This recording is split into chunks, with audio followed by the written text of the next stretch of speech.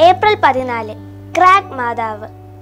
ബ്രസീലിന്റെ സംസ്ഥാന തലസ്ഥാനമായ വിക്ടോറിയ മലയിടുക്കിന് കുറുകെയുള്ള രാക്ഷസ പാറയുടെ മുകളിലാണ് ക്രാഗിലെ പരിശുദ്ധ കന്യകയുടെ ആശ്രമം സ്ഥിതി ചെയ്യുന്നത്.